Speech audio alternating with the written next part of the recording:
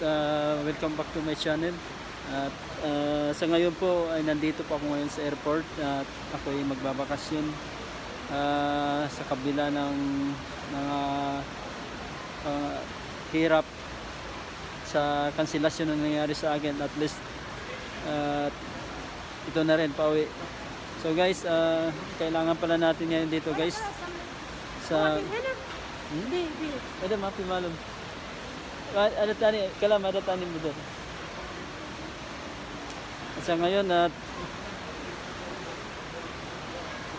Pasensya na kayo sa amin, nagtatanong kasi hindi ko, hindi ko maintindihan kung anong sinasabi ko.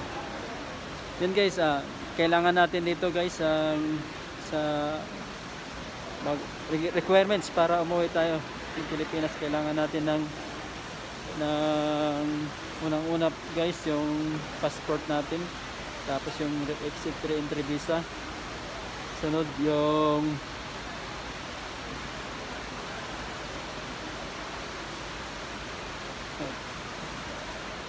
yun guys ah, kailangan exit exit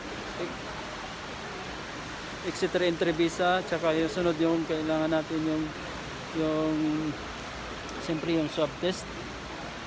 Tapos yung one health pass number one dito pagpasok pa lang natin sa counter tinatanong na yung yung tawakal na hindi na ako tinanong kanina ang hiningi na lang sa akin kanina sa counter sa check-in counter yung ah, yung swab test ko tsaka yung Dale. yung one health pass ko. So hinihingi, hinihingi niya kanina sa akin. So yun lang, pagkakita ko noon, screenshot ko lang. Meron akong pinakita yung screenshot ng one health pass ko, yun. At tuloy-tuloy ng pasok ko. So guys, isa pala sa mga na, nakasama ko kanina, isang Pilipina din. At nangailangan ng tulong dahil pagdating na pagdating niya kanina sa dito sa airport, di niya alam na may kailangan palang one health pass. So guys, uh, thanks God kasi ginawa ako ni Lord ng instrumento para makatulong sa isa nating kababayan. So yun nga, at na, wala talaga siyang ka- kaalam-alam na may kailangan pala tayong one health pass na requirements. So yun, natulungan ko sa mabilisang paraan at ta- ta- at salamat din sa mga taong na, na sinare nila yung mga kaalaman nila sa YouTube tutorial doon ko din nakita to sa isa na sa ibang vlogger so yun nakita ko na ganun pala yung paraan ng pag-login paraan ng pag-register sa One Health Pass. Madali lang siya guys basta intindihin lang natin. So pag di natin intindi, maintindihan tanong lang tayo. Yun lang ang isang mabisang paraan at mabilis na paraan. Intindihin natin at magtanong. So madali lang siya. Nag-login na, nag-register ako kaninang umaga. After ko makuha ko yung one health, ah, swab test, nag-register ako sa sa one health pass kaninang umaga tapos nakakuha agad ako ng barcode.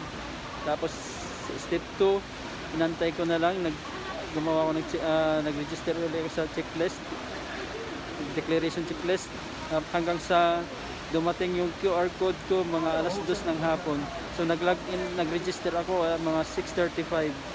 So nakuha ko yung QR code mga alas 2:50 uh, 2:54 ng hapon. So yun guys, ganun kabilis.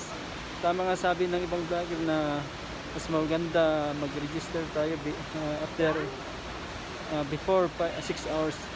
Pwede na tayo mag-register at mabilisan to. So guys, ah, nandito na ako ngayon.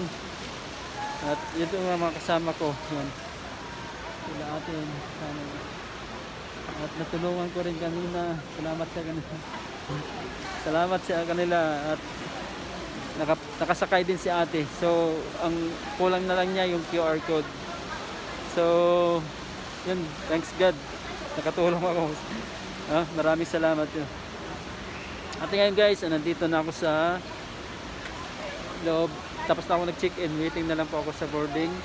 Inaantay ko na lang po yung gate number ng ah, ng Saudi Airlines. So sa ngayon wala pa rin. Wala pa rin gate number. So pag nakuha ko yun, pag nakita ko na yon, siguro papasok na kami pumasok sa aeroplano. So Uh, thanks God, sana gabayan po kami, gamay, gabayan po kami ng ating mahal na Panginoon para sa aming biyahe sa araw sa gabing ito at makarating kami ng maayos at matiwasay sa pamagitan ng ating mahal na Panginoon. Thank you Lord, thank you Lord. Maraming salamat sa inyo. At